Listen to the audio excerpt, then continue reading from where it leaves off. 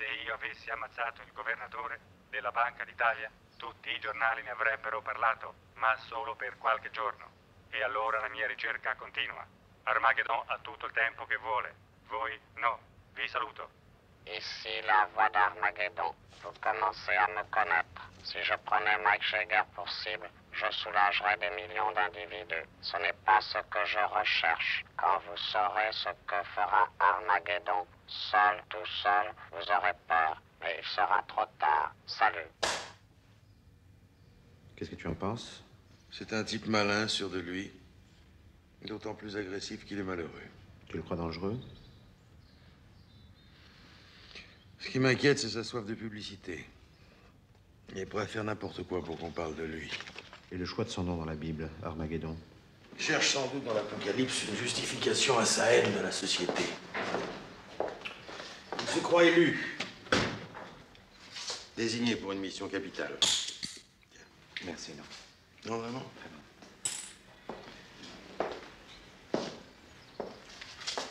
Qu'est-ce que tu attends de moi exactement? Que tu nous assistes. Les types comme Armageddon, tu les connais mieux que nous. Tu agis en ton nom personnel ou officiellement Euh, La police italienne, enfin le commissaire Sampieri est au courant. Tu as souvent affaire à lui, je crois. Tu peux me laisser une copie de la bande magnétique?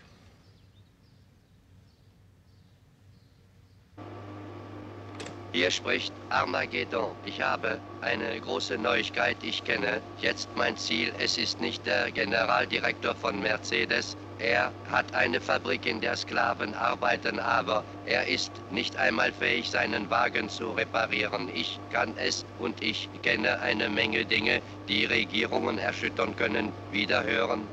Voilà. C'est le dernier message reçu. En ce qui nous concerne, on a découvert le modèle de magnétophone qu'il utilise. C'est un appareil vendu surtout en Belgique et dans le nord de la France.